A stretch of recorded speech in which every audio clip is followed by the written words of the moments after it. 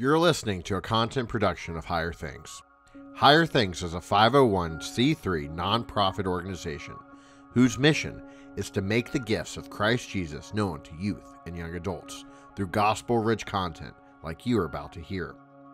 Consider joining our supporters who make this ministry possible by donating at higherthings.org/giving or by clicking the link in the show notes.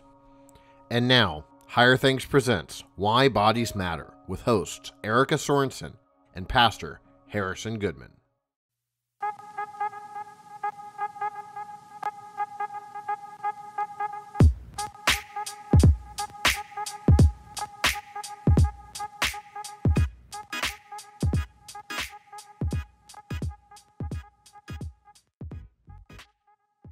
the suffering that I have endured has uniquely gifted me to care for other people going through the same thing.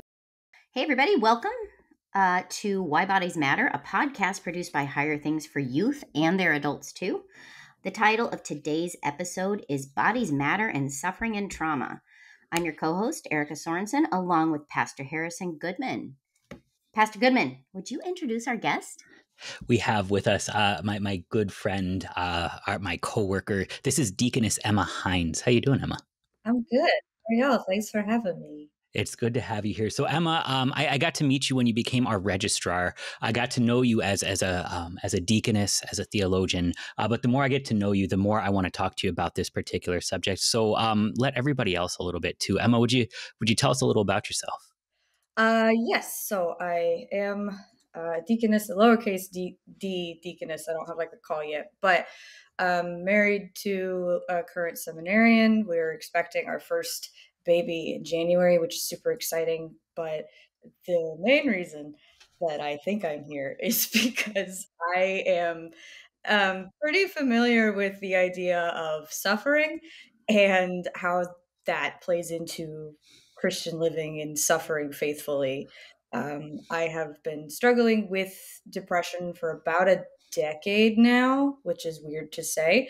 Um, but I've dealt with all kinds of complications with grief and then depression and anxiety and navigating that not only as a young person figuring out what she wants to do with her life, but also as a um, Christian, as a faithful Lutheran, and really understanding how Lutheran theology equips those who suffer and those who care for the suffering to continually point to Christ and get through it all day to day.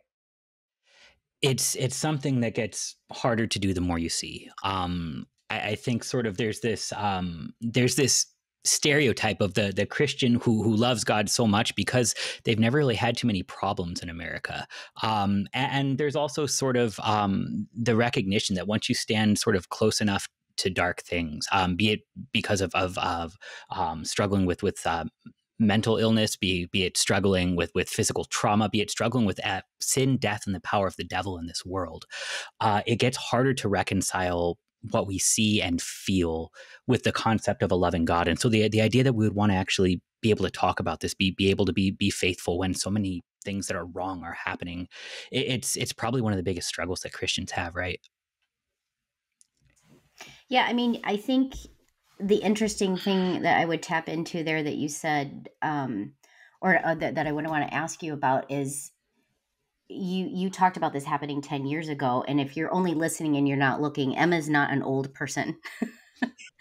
So if i'm calculating correct you're maybe middle school when this stuff sort of uh, freshman year of high school i was or, okay okay 14 um so she was not she was not old um and i and and i think one of the things that people struggle so much even if they're christian is you know suffering of any kind um, it's not something you know i mean being depressed is not your fault. It's not some it's it's not something that you did or um, something that you earned just like most of the a good deal of the suffering that happens in our life. I mean we do cause ourselves our own problems and our own sufferings. I know this because sometimes i'm my own worst enemy but in terms of mental illness or things dark things that people do to us or bad things that happen to us um, that's that's kind of the thing that I think a lot of people struggle with that are either Christian or outside of Christianity because we hear, um, you know, in John 3, three sixteen that God loved the world so much that He gave His only Son to die for us, and all, you know, He's He's doing these good things for us. But but then why do we still suffer? He, Jesus came. God loves us. Why does He allow suffering? Why does a good God allow suffering? Why does this go on? What yeah. Do you, what do you say to that? Um. Yeah. On the one hand, God is God, and He's going to do as he sees fits. That doesn't mean that he delights in the suffering of his children. He doesn't. We know that. Um, and Christ's coming into the into human flesh to suffer and die and be raised from the dead. It works to take away the eternal consequences of sin, death, and the devil. But we're not at the resurrection yet where we haven't been called home to christ yet and so while we live in a world that is racked with generations of original sin and terrible awfulness that we do to each other we are we're stuck living here. Um, we are given vocations by god and i want to fulfill those faithfully but i can't either because i the original sin that lives within me or the fact that i have to deal with other sinners and they hurt me. We live in a world that, like, physically, the earth, the ball that we live on, is so broken by sin that natural disasters happen and sickness and illness happens. And the suffering that we experience, specifically in the lives of Christians, serves to redirect us back to God, to send us back to the open arms of Christ because it, it, it makes us realize I can't save myself. I cannot do anything for myself. I try and it just gets worse. So, suffering for Christians is the thing that drives us back to Christ, reminds us, convicts us, and says, You can't do this. But you don't have to do this. You don't have to try to save yourself because that already happened on a cross 2,000 years ago that that's a done deal. And so now when we face suffering it's it's not i have to prove to god that i can overcome this. I have to prove to other people that the reason this is happening is not because my faith is in tatters. It is i have a helper. I have the holy spirit. I have the gifts of christ here and now to get me through the day to day. And being like i've seen even in just my short little lifetime, the suffering that I have endured has uniquely gifted me to care for other people going through the same thing being like, yes, it's awful. We're both in this pit together. It's terrible. But Jesus is here. And if, like, I, I often talk about um, when you meet people who are suffering, your job is to bring Jesus to them or like if you can't bring them to Jesus, get Jesus to them. Hmm. That like that is the the job of Christians. The job of your brothers and sisters in Christ is to remind you, hey, this thing that you were made in your baptism means that you have a direct line to the guy who dealt with this already. Um, and it's just the life of the Christian is suffering, and it is going to last until we die. But before, we're looking forward to the resurrection. While before we get there, it's not fun. so there's this thing you did though. Um, yeah. I want to. There's so many things you said that that are worth unpacking into a book. That was awesome. But um, the first thing you did when we talked about suffering is that you laughed at it, um, and then from there uh, you said something that was hard to handle. That that God can do what He wants. He's in charge, and it's true. Um, even if it's not sort of helpful. But you immediately then went to so when God does what he wants to with suffering, he he assumes it himself. He, he goes to uh, the person of the Son who bears the cross. Um, you laughed at suffering because I guess when you stand close enough to it, uh, after a while, it, I don't know if you get used to it or, or or it just sort of loses the the thing that makes you so afraid of it. Maybe God's just not as afraid of suffering as we are, and He's willing to work within it a lot more than we would like Him to. I don't know. What do you think? I I would agree with that. I think. Um, what does God have to be afraid of death? Like, like he's can't you say that about you too, though?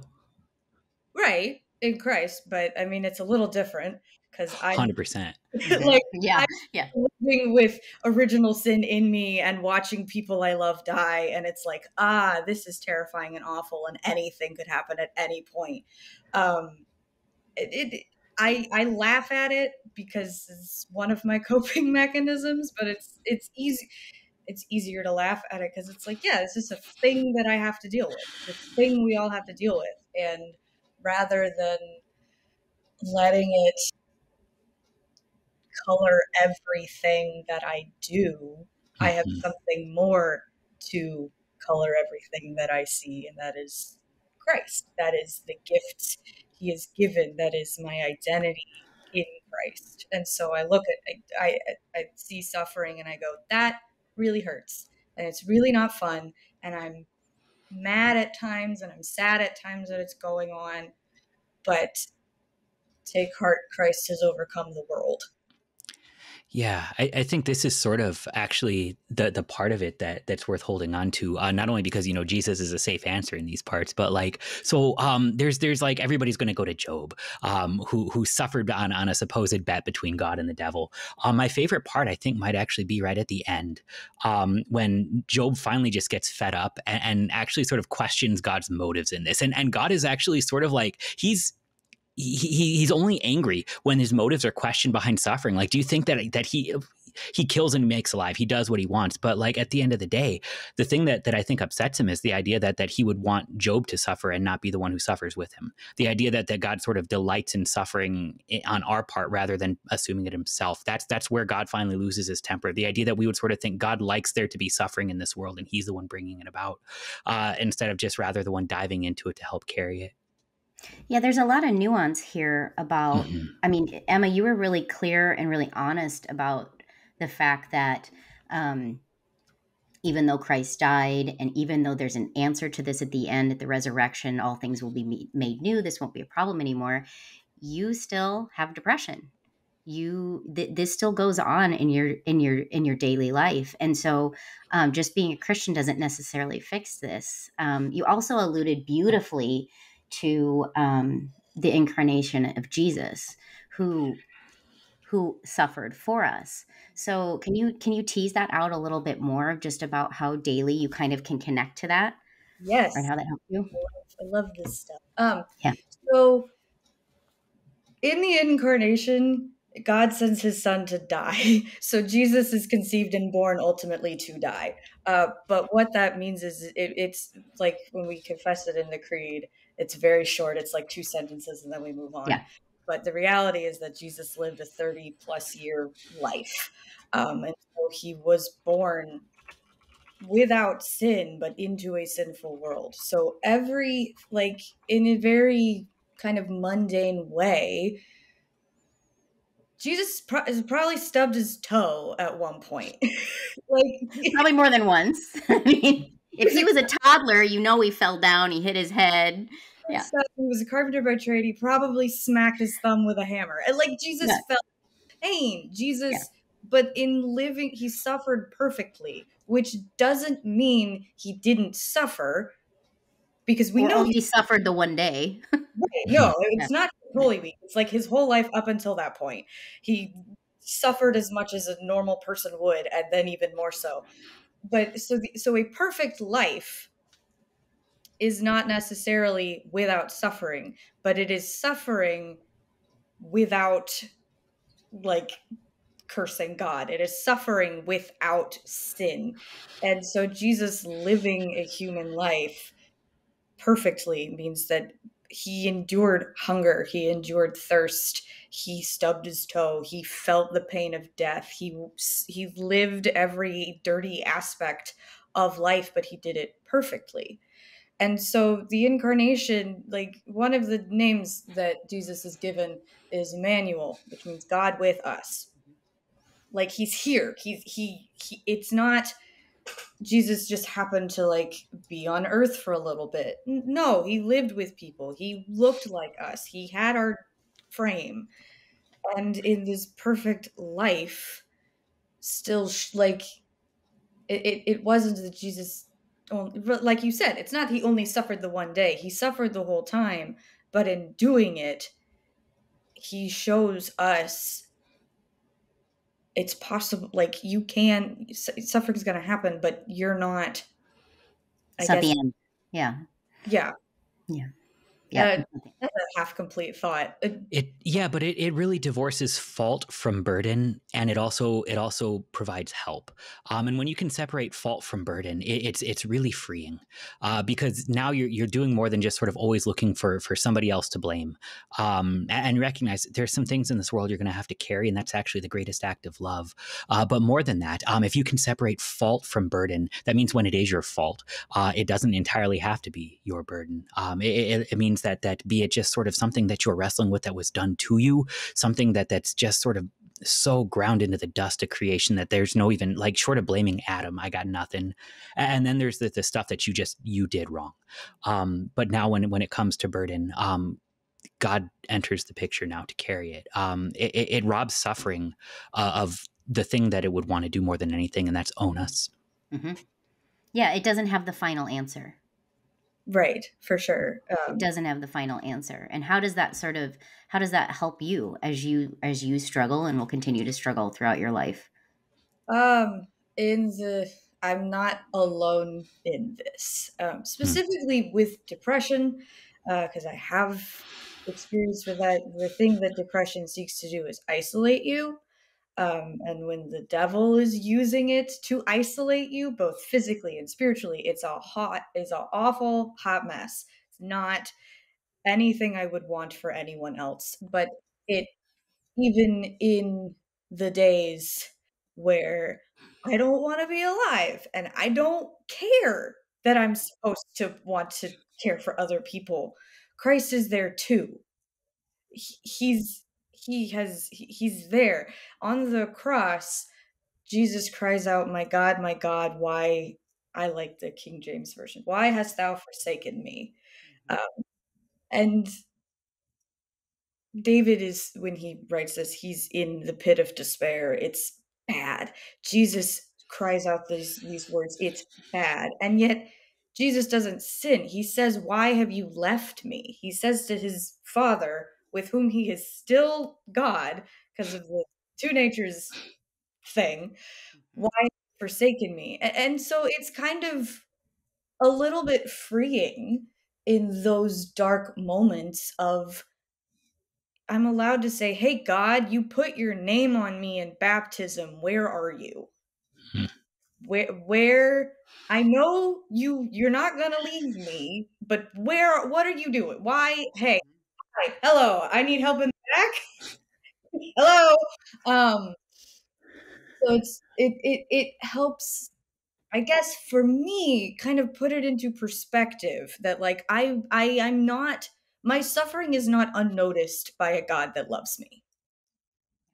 It's it's actually it's profound. Um, every worldview, if you're religious or atheist, you have to like sort of or sooner or later confront the fact that it it hurts down here a lot.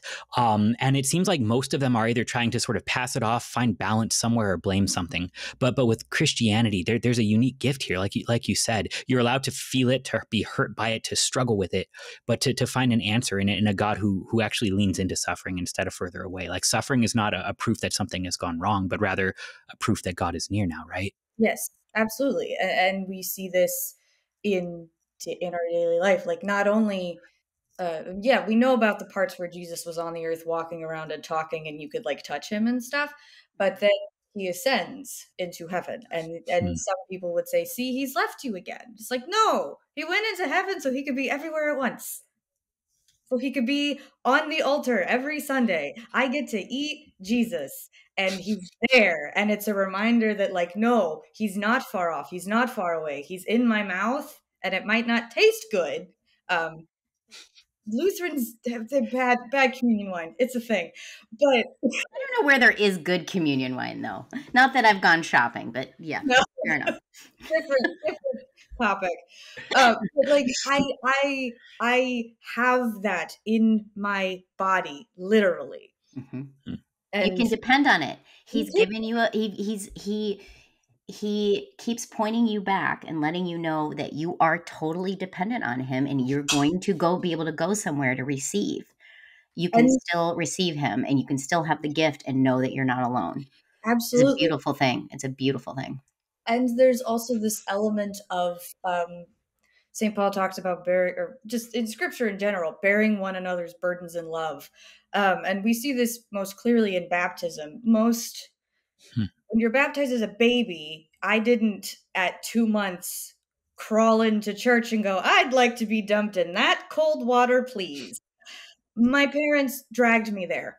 And chances are you have seen baptisms where the baby is just kicking and screaming the entire time because at up until that moment they're suffering and they're like i don't i don't know i yeah. don't have full conscious thought right now but i don't know what's going on yeah your parents bring you to the waters of baptism when i i was blessed in the way that when my depression was at its worst at the very beginning i still lived at home and my mm-hmm. parents made me go to church I cried through every single church service for about mm, three years and could not, like, I could not have anyone touch me.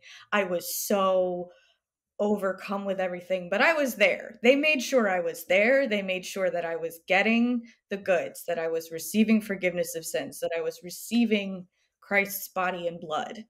And even if in that moment it didn't feel like it was doing anything, it was still happening. It was still for me in the midst of being alone. And so when we have people who do struggle, whether it's with mental illness, chronic illness, or just I'm having a bad time, the body of Christ is the body of Christ.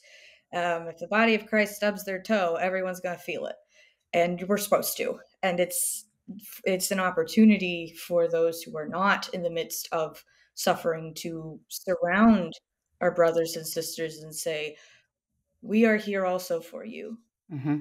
We're it, in it with you. Yeah. It's not just Jesus, like it is Jesus for you, but it is also a physical thing of we're here to make sure that you don't forget whose you are and what hmm. has been won for you.